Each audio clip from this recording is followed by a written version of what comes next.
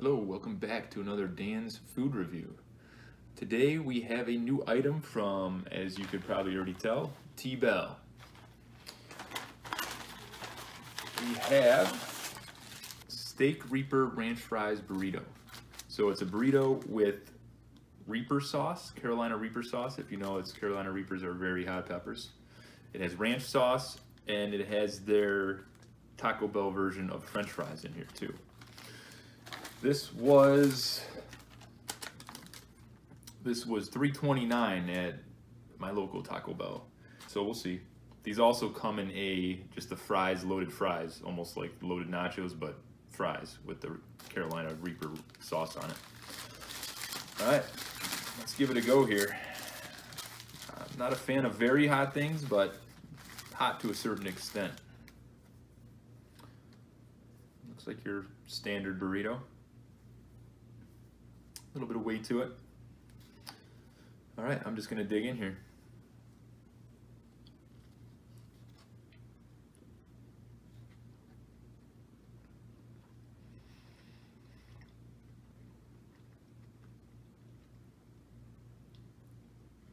Okay, I'm getting a little bit of the heat. The sour cream is keeping it, keeping the heat to a minimum so far, but I definitely feel the heat now that's going down. Got some of the fry in there. That was good. Good first bite.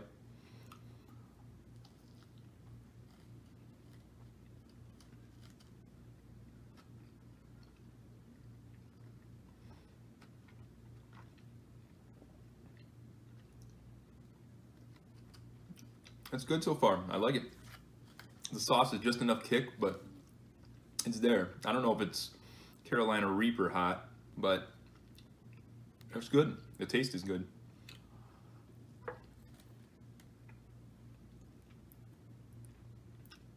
Got some tomato in that bite too. That was good. I'm gonna do one more bite and uh, kind of give an overview and uh, rating.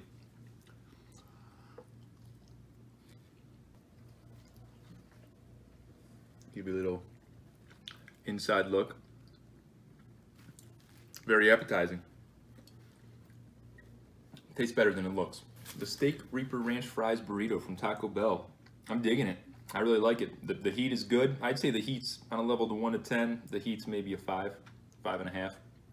So it's there. I mean, if you don't like hot things at all, you're probably not going to like it.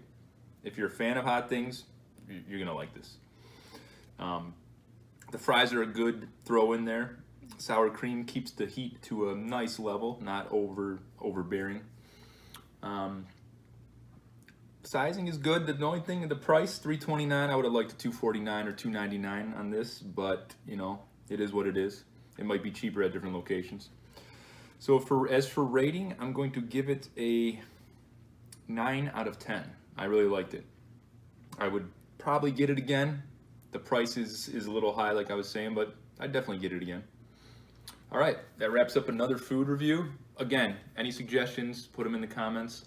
Um, I'm willing to do, you know, try pretty much anything, you know, to a reasonable limit. And make sure you hit that subscribe button. I'll see you next time on another Dan's Food Review. Peace.